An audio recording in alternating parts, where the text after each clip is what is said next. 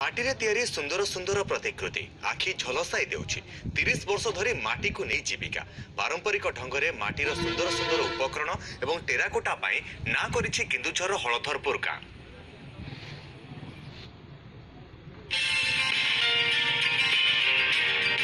କାରିଗରର ହାତ ଛୁଆଁରେ ଜୀବନ୍ତ ହେଉଛି ମାଟି। ମାଟିରେ ତିଆରି ହେଉଛି ଭଳିକି ଭଳି ଉପକରଣ। କେନ୍ଦୁଝର ଜିଲ୍ଲା ହଳଧରପୁର ଗାଁରେ ମାଟିକୁ ନେଇ କାରିଗରଙ୍କ ଜୀବନ ଓ ଜୀବିକା। ବର୍ଷ ଧରି ଟେରାକୋଟା ଓ ମାଟିର ଘରୋଇ ଉପକରଣ ତିଆରି କରୁଛନ୍ତି ଲୋକେ।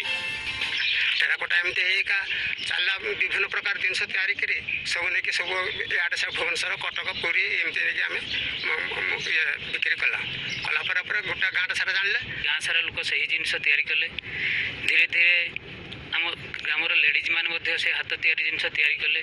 ତାହାକୁ ତିଆରି କରି ନେଇ ବାହାରକୁ ଆମର ଓଡ଼ିଶା ଭିତରେ ପ୍ରଥମ ବିକ୍ରି କଲୁ। ତାପରେ ବାହାର ଷ୍ଟେଟ୍କୁ ମଧ୍ୟ ଗଲୁ।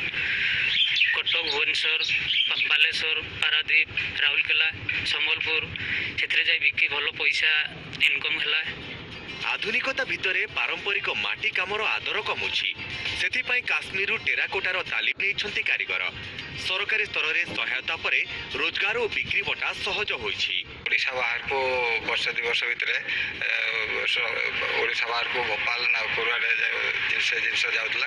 କିନ୍ତୁ ଓଡ଼ିଶା ଭିତରେ ଯେତେବେଳେ ଗଭର୍ଣ୍ଣମେଣ୍ଟର ମେଳା ହେଲା ଲୋ- ଲୋକ କେମିତି ଡେଭଲପ୍ ହୁଅନ୍ତୁ ସେ ଦିଗରେ ଯେ- ତାଙ୍କର ଯେ ଜିନିଷ ଗୋଟେ ଜିନିଷ ବିକ୍ରି କରିପାରନ୍ତୁ ଏମିତି ଏ, ମେଳା ହେଲା ସେ ମେଳାକୁ ଗଭର୍ଣ୍ଣମେଣ୍ଟ ତରଫରୁ ଆମକୁ ଡକା ହେଲା। ସରକାରଙ୍କ ତରଫରୁ ଆମକୁ ଧରନ୍ତୁ ମହୋତ୍ସବ ଯେତେ ହେଉଛି ଓଡ଼ିଶାର ସେଇ ସରକାର ସେ ବିଜନେସ୍ ପାଇଁ ସାହାଯ୍ୟ କରୁଛନ୍ତି। କିମ୍ବା ଅନ୍ୟ ସାହାଯ୍ୟ ମାନେ ଘର ଦିଆହେଉଛି ଭାଟି ଘର ଯୋଗାଇ ଦିଆହେଉଛି ଲୋକ କେମିତି କାମ କରିବେ କିମ୍ବା ରହିବାର ଘର ଅନ୍ୟାନ୍ୟ ସେ ସବୁ ଘର ପାଖରେ ଯୋଗାଇ ଦିଆହେଉଛି।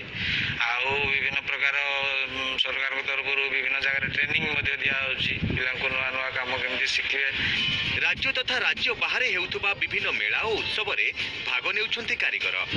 ଉର୍ମାସ ତରଫରୁ କାରିଗରଙ୍କୁ ମିଳୁଛି ପ୍ରୋତ୍ସାହନ।